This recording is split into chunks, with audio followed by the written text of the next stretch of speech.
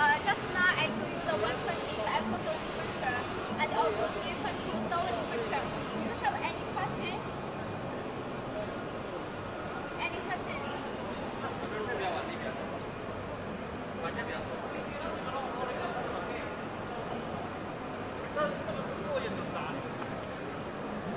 If you have any question, you can leave your message here.